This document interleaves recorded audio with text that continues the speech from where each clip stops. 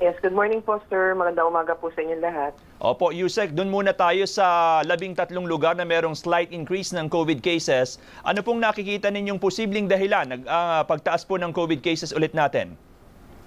Uh, marami pong pwedeng dahilan ng pagtaas ng kaso. Unang-una, syempre, yung ating minimum public health standards. Uh, pagkatapos nakikita natin yung mga crowding talaga because of campaign sorties, nagkaroon tayo ng bakasyon ng Holy Week. So these are all contributing factors. Ang pinaka-importante po kasi yung practice ng minimum public health standards. So tinitignan ho natin, closely monitoring tayo sa mga areas na to. We are not seeing significant increases as of this time. And most specifically, mas importante po, dun po sa mga pagtaas ng kaso na nakikita natin na bahagya, ay hindi po natin nakikitang napupuno ang mga ospital. Yusek, meron hubang lugar dito sa Metro Manila kasama doon sa labing tatlong areas na yon na may slight increase? Uh, may binabantayan po tayo dito sa Metro Manila pero hindi naman po siya ganun ka-significant as I've said. Uh, meron ho kasing uh, bahagyang pagtaas, may positive growth rate po. Ang Pateros, uh, meron din po sa ibang area na uh, napupuno po ang kanilang ICU katulad sa Malabon. Pero nung pinag-aralan po naman natin, tatatlo lang po ang ICU beds nila and ngayon po puno po na tatlo po ang, ang kanilang uh, ah, ICU beds uh, because of these three COVID-19 beds for ICU. Uh, sa Navotas naman po, meron lang ho tayo dyan 46 beds for COVID wards.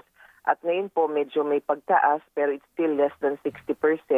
Uh, pero kakaunti po kasi kaya madaling mapuno. So binabantayan po natin maigi. Uh, sa tingin po namin hindi pa naman po ito significant because yung mga na-admit din is really going there not because of COVID but because they have other illnesses tapos pag tinest nagko-COVID positive sila.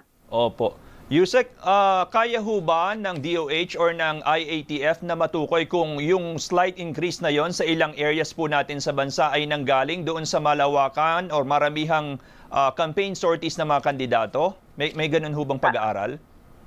Uh, well, pinag-aaralan po natin yan. Ano? Meron ho tayong mga ginagawang projections tapos closely monitoring tayo doon sa mga slight increase in cases.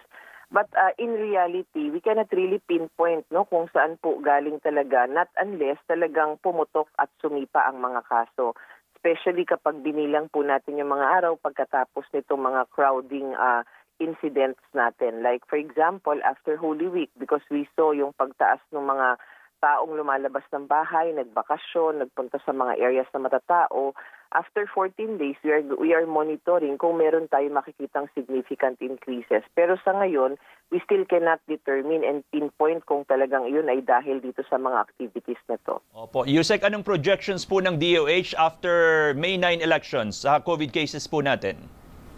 Ah, well, may projections po tayo na ginawa. Ano? Doon po sa naunang projections natin, kung magpapatuloy po ang ating pagpa-practice ng minimum public health standards na kung bababa man, bababa lang hanggang mga 20% no, nasa compliance, hindi pa ho papalo ng husto ang mga kaso sa ating bansa.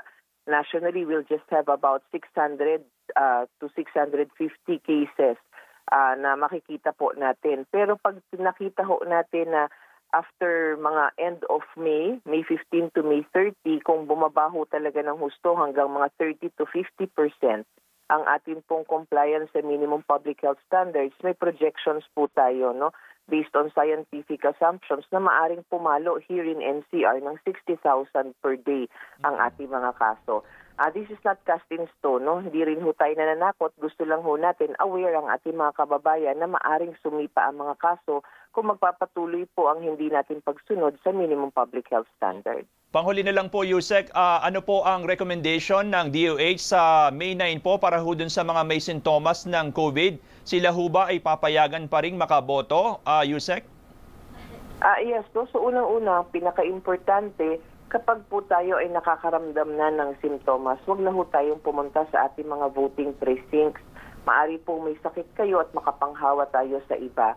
Kung sakasakali naman po na naando na sa voting precinct, meron hong tinalaga ang COMELEC na isolation area para po sila ay ma-isolate at doon na rin isasagawa ang kanilang pagboboto. Meron ho tayong safety officers dyan that uh, will be managing uh, these uh, individuals na may simptomas para pagkatapos ay mai-refer na sila sa local government for proper management. Again, let me just reiterate, Ah, sana po ang ating mga kababayan ah, sa darating na eleksyon, kung sakasakaling meron ho kayong simptomas, huwag na ho tayong pumunta sa ating voting precinct para hindi na ho tayo makapanghawa ng iba.